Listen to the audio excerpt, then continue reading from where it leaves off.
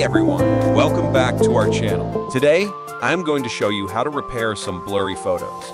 Here are two methods to help you. Some photos will lose clarity due to improper compression or saving format. We can use these two methods to restore them. Method 1. Adjust with Adobe Photoshop. Open Photoshop and drag in the photo you want to fix. Go to the top menu and select Filter, then choose Sharpen. For those with less experience in image editing, we can use Smart Sharpen. This will bring up a window with a preview where you can adjust the amount, radius, and reduce noise. Adjust the values until you're satisfied with the image quality. However, some images are difficult to fix easily. We've tried to reduce sharpening and noise. Now, let's export the image and rename it to Fixed.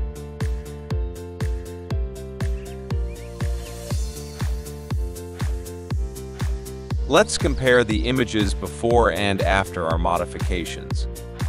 You can see that even with adjustments, the difference might be subtle. Method 2. Enhance with 4DDiG File Repair. 4DDiG File Repair is a specialized tool for repairing image data with impressive AI technology. It can fix various damaged photos and save us a lot of time. Download and install 4DDiG File Repair and load it up. You'll see that it can repair not just images, but also videos, documents, and audio files. Select Photo Repair. Choose Enhance Photo Quality. Drag in the files you want to fix. And click on an image to preview the repair. If you're satisfied with this quality, let's start repairing all the images.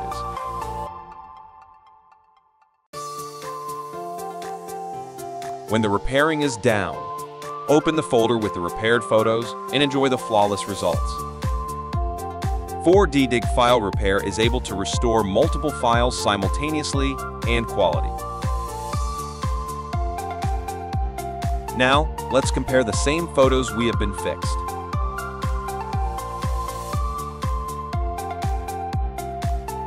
If you found this video helpful, be sure to subscribe to our channel for more tutorials and tips. Thanks for watching. Catch you next time.